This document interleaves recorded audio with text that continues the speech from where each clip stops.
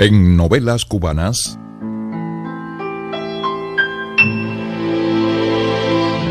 Al final del camino. Novela original de Andrés Miguel Pérez. Protagonizan Osmaida Camacho y José Raúl Martínez. Asesoría María Isabel Colmenares.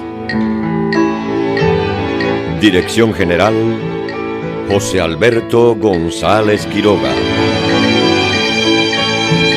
Al final del camino.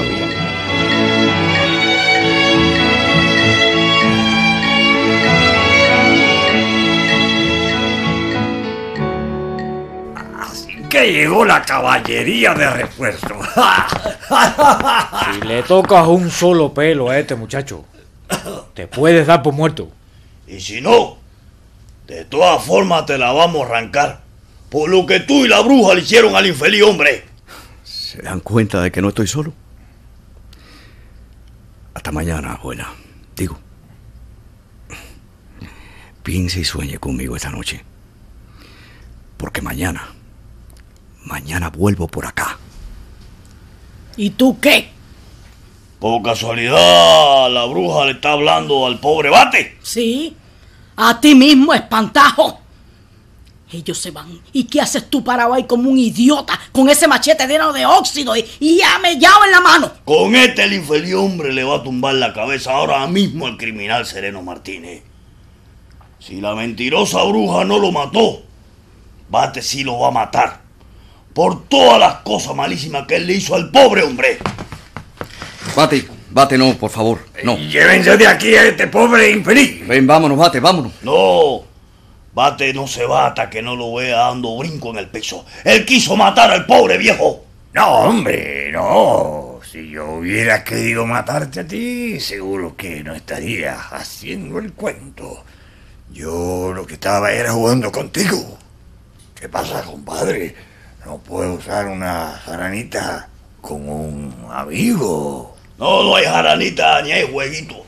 Y Sereno Martínez no es amigo ni compadre de Bate. Oye, social, te digo que sí. Que irá jugando. Sí. Y la paliza que Sereno le dio aquí mismo al infeliz hombre, ¿eh? Y el arrastre por todo el camino, y los macanazos en la cabeza, y el tiramiento en la zanja de agua podrida. Jarana, viejo. Jarana. Tú no has oído decir que esas se llaman gracia campesina. Ah, sí, porque es campesino el niño, ¿eh? Pues mira, que al infeliz Arcadio Baterio no le gustan esas gracias campesinas. Por culpa de, de ella, hubo que inyeccionar a Bate y remendarle la cabeza. ¡Ledesma! ¿Y tú, muchacho? Acaben de llevarse esta cosa de aquí antes de que sea yo misma quien lo mate a él.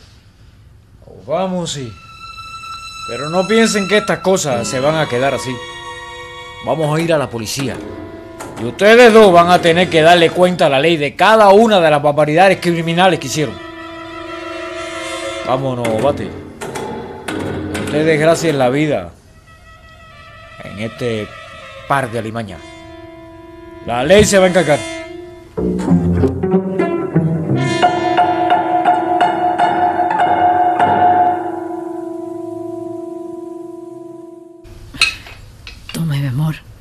Café.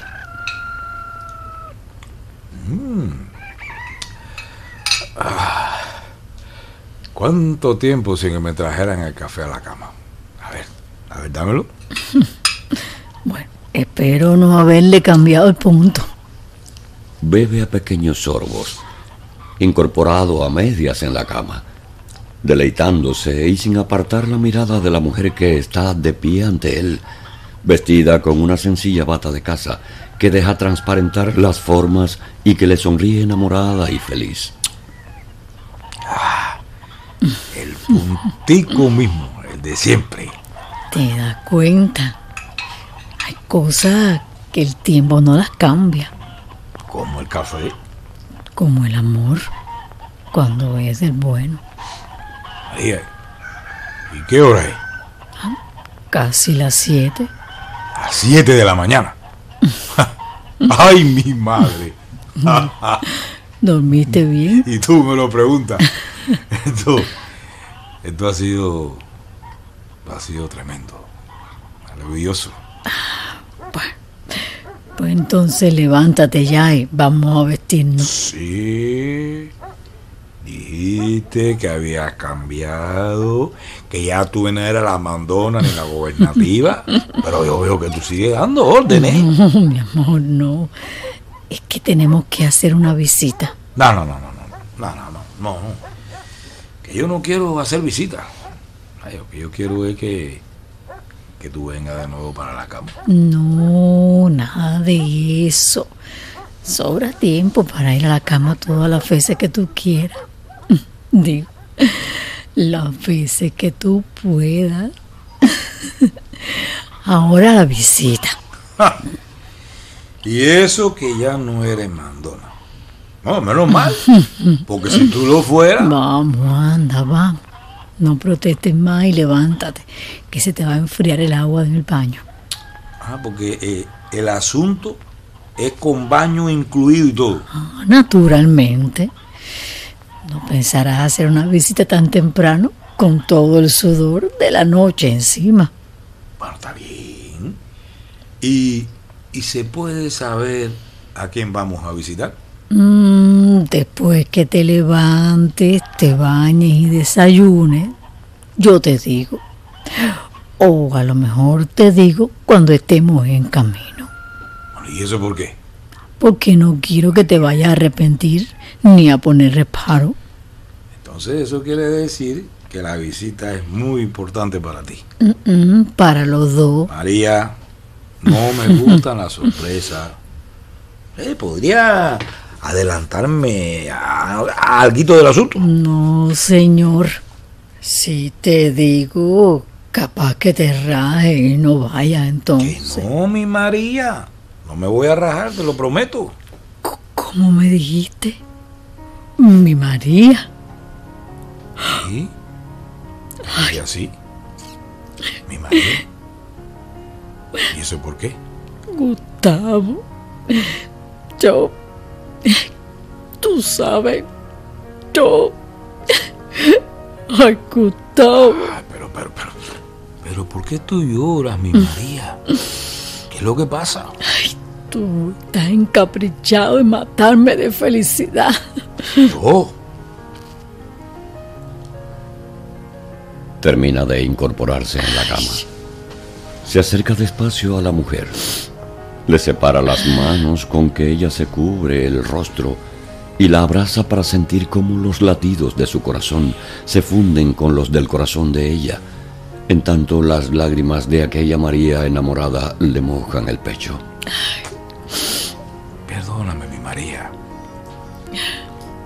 Perdóname por estar ciego durante tanto tiempo. ¿Tú crees que podrías perdonar a este idiota estúpido que no supo darte tu valor? Ay, Gustavo. Ya yo te había perdonado antes de esto. Desde el primer día te perdoné.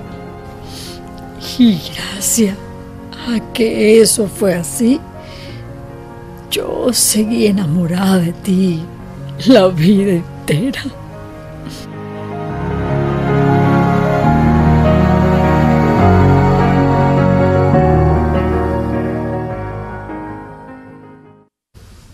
¿Y a qué hora llegaron ustedes?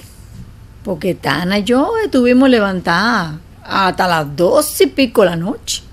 Llegamos bien tarde, sí.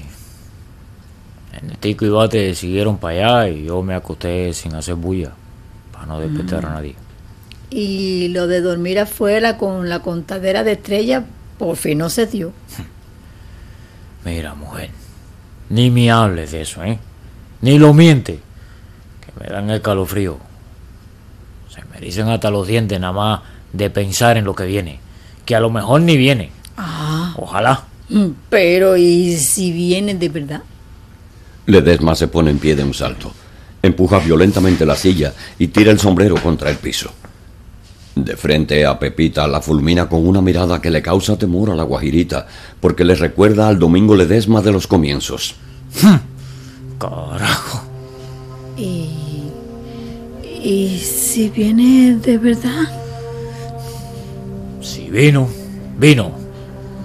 Y si no, aguardiente.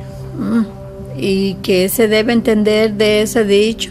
Usted tenía que haberse previsto para que eso no pasara. Y otra cosa. ¿Qué tiene su hija Eutanasia? ¿Por qué está así tan quiquillosa? La estoy vigilando. Y ha calentado ya tres veces el jarro de caña santa. Cosa que aquí no se hace. Porque en esta casa lo primero es el café. Ah, bueno, pero es que el café suyo ya usted se lo tomó hace rato, mijo. ¿Sí? ¿Cuándo? Ah, yo misma lo colé y se lo traje. Hágase memoria. Todavía la bolsa de la coladera está echando un mito. El que está echando humito soy yo. Humito y humón. Tengo tremenda humacera que me sale por las guatacas para afuera, por la nariz, por la boca y hasta, y hasta por los ojos. Pero ¿y eso por qué? Eso. Porque estoy encendido por dentro. Usted no ha oído decir que donde hubo humo es porque todavía candela queda. Y a ver, aclarécame eso de que aquí haya que hervir la caña santa por garrafones. Ah, bueno, es que Ernestico dijo que es mucho más sano. Y como él no toma café, pues Tana le preparó esa hierba de limón. No, si hasta ella dejó ya el vicio del café fuerte. Papá. ¿Qué gritería es esa? ¿Usted quiere despertar a todas sus hijas a esta hora? A esta hora son casi las 8 de la mañana. ¿Y qué? ¿No le da pena? Mire, mejor compóngase ya, que por ahí vienen Ernestico y Bate. Vaya, por fin. A ver si no me gasta usted el saco de carbón encendiendo tantas veces la hornilla para recalentar ese brebaje. Buenos días, ¿cómo se amanece? ¿Cómo se puede, médico? ¿Cómo se puede? Ay, venga, Ernestico, venga para que desayune, que ya le recalenté la caña santa y los huevos hervidos. Ah, con que los huevos también. Así que tenemos huevos. Sí, ya los recalenté. Nada más falta que le recaliente los sesos. Y por el camino que vamos, bueno, eso no va de, a demodar nadito en llegar, ¿verdad? No, no, no, no, no, no. Por parte mía, usted se puede pelar el gaznate y la campanilla sonando, Pepita López. Que lo dicho, dicho está. Esto va cogiendo un derrotero que a mí no me conviene. Y sépase que voy a relinchar en contra de eso y duro. Eh, Tana, tú, tú me hiciste la relación que te pedí de los muchachos que están en la misma situación de ustedes. Sí, sí, los que tienen padres renuentes a que los hijos se vayan a estudiar el sexto en internados lejos. Esos que nada más cogieron aquí en la Loma del Gato hasta el quinto grado. Bien, entonces dame esa relación. Ajá. Tana le entrega un papel muy pequeño, doblado cuidadosamente, y él se lo guarda en un bolsillo sin apenas mirarlo. Bueno, Bate y yo vamos a chapear todo aquello. Luego remendamos el par de tejas que están averiadas y después cargamos en mi carretón las mesitas y la silla que Pepita gestionó en el vecindario. Sí, pero el pobre Bate no puede ir a trabajar con la barriga vacía, ¿no? A esta hora ya la bruja mujer del pobre hombre le había llevado el desayunito a la cama.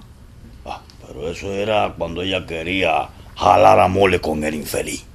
Bueno, pues ella sigue jalando amores, pero con otro. Consuélate con saber que la pobrecita no está desocupada ni aburrida. Porque ahora la lleva el desayunito a Sereno Martínez. Lo cual no será por mucho tiempo. De eso usted puede estar completamente seguro. Míralo allá en el portal, dándose balance. Desde que se levantó lo estoy notando muy raro. Hasta madrugó. A las seis y pico se tiró de la cama y anda con un barrenillo que no me gusta. Hmm. ¿Estará planeando algo en contra mía? Bueno, de que está planeando, Eso lo sé hace rato. Lo que me parece es que ella quiere hacerlo. ¿Será?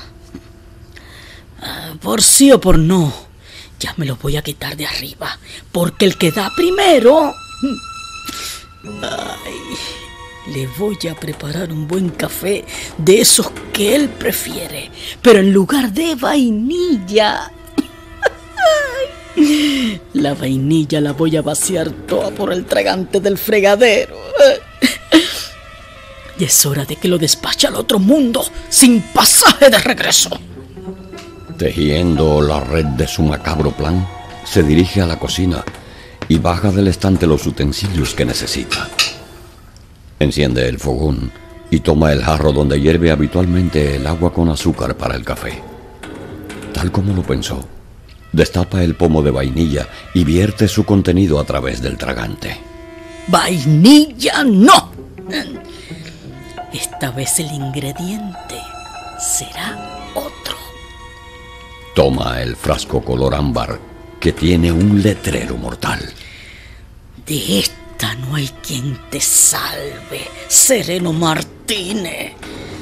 Ni el médico chino te salva, ni el médico Ernestico. Da unos paseitos inquietos por la cocina, golpeándose significativamente los labios con el índice en gesto de evidente preocupación mientras cavila, hurgando entre sus negras ideas para escoger la más tenebrosa. De pronto se detiene cuando parece haber encontrado una solución. Claro. No, no lo puedo eliminar todavía. No, no, no. Todavía no. Él tiene que ayudarme primero a mí. Tiene que sacar del juego ese medicucho intruso que nos amenazó. Y después... Después le llegará su turno. De eso me encargo yo. Pero tengo que arreglar el asunto de manera que el infeliz hombre, el pobre hombre, sea quien pague el muerto. Eso no será tan difícil. Cuando Sereno esté tieso, busca a Baterio para que vuelva a matarlo con su machete mozo. Y luego lo mando a esconderse y aviso a la policía del escondite. ¡Ay! Ya. Lo mató por celos. Ese es el juego. Entonces, marcha atrás por el momento. ¿Qué hago? ¿La tumbo a ella primero o se la chapeo al médico? Piensa, Piensa. El médico amenazó con ir a la policía. Y también están el edema y el loco. ¿Y por qué tú te detienes aquí? Porque ya llegamos. ¿Aquí? Aquí. Pero...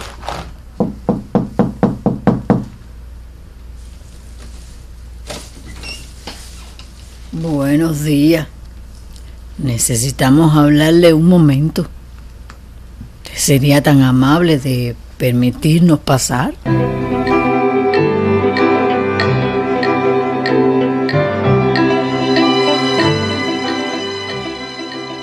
Musicalización y sonidos Ana Elvira Ávila. Grabación Luis Rafael Milán Roldán. Efectos de estudio Alexander Vázquez Mayo. Teleprompter Bárbara Juliana Tamayo Lanier. Asesoría María Isabel Colmenares. Narrándoles Andrés Miguel Pérez. Dirección General José Alberto González Quiroga. De lunes a viernes en novelas cubanas al final, del camino.